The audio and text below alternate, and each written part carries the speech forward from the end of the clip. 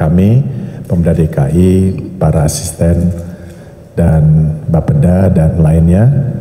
Salah satunya adalah membicarakan terkait dengan Jakarta ke depan, membahas rencana tata ruang wilayah, bersinergi dengan Bapenas, dan tentunya ini adalah masukan-masukan yang bagus yang antara lain adalah uh, terkait dengan supaya DKI Jakarta pasca IKN itu tetap berjalan dengan baik, ekonomi tumbuh dan tentunya menuju Jakarta yang lebih dinamis. Tadi arahannya Pak Menteri mempercepat uh, kegiatan ekonomi pembangunan kira-kira itu. Dan yang terakhir Pak Menteri tadi memohon kepada kami untuk bikin tim tim kecil untuk bisa timnya Pak Menteri Bapenas, timnya Pemda DKI membahas detail rencana tata ruang dan selanjutnya berkenan dengan hormat Pak Menteri memberikan beberapa statement. Kami persilahkan. Baik, terima kasih Pak Gub. Jadi sesuai dengan uh, petunjuk Bapak Presiden, kami Bapenas diminta untuk memikirkan uh, Jakarta setelah tidak menjadi ibu kota. Yang pertama yang uh, pada hari ini uh, kami uh, hadir di sini bersama-sama uh, deputi sebagaimana tadi disampaikan oleh Pak Gub uh, membahas secara bersama beberapa isu penting. Isu yang pertama adalah bahwa uh, kami ingin menjawab kekhawatiran uh, ketika ibu kota pindah itu uh, tidak berarti semua kegiatan-kegiatan di luar pemerintahan itu juga berpindah.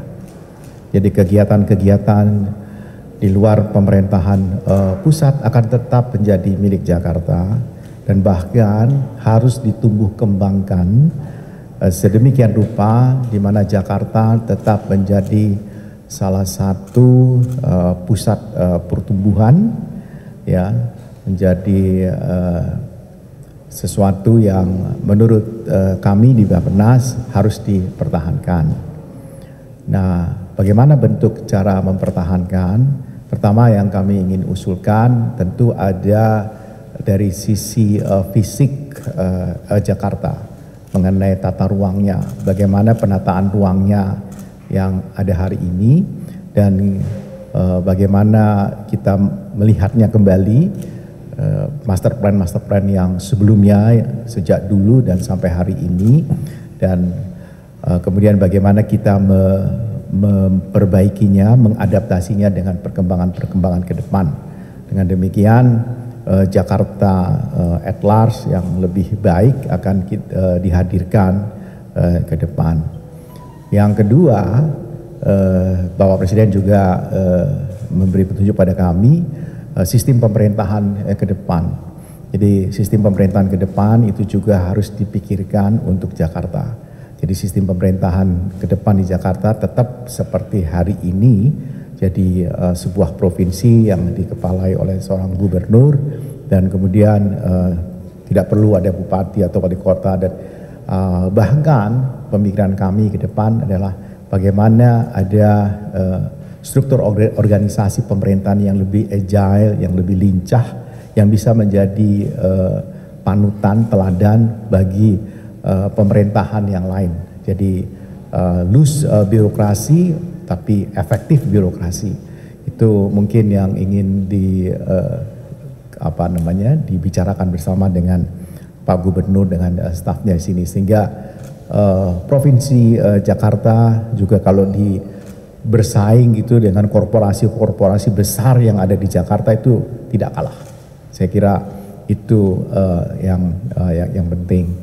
Yang ketiga tentu ini akan menyangkut pada uh, tata aturan dan kewenangan-kewenangan ke depan yang akan dimiliki oleh uh, Jakarta.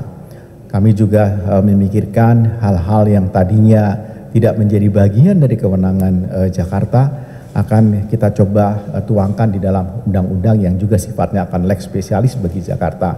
Sehingga Jakarta bisa mengambil uh, kewenangan-kewenangan untuk kebutuhannya tanpa disibukkan dengan sesuatu yang tidak diperlukan. Misalnya uh, bagaimana relasinya dengan kementerian dan lembaga yang lain.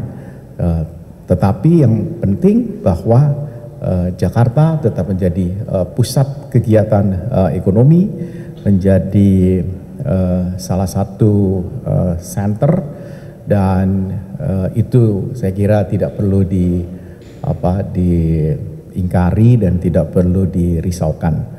Uh, bahkan kita akan membangun jauh lebih uh, baik lagi uh, di Jakarta.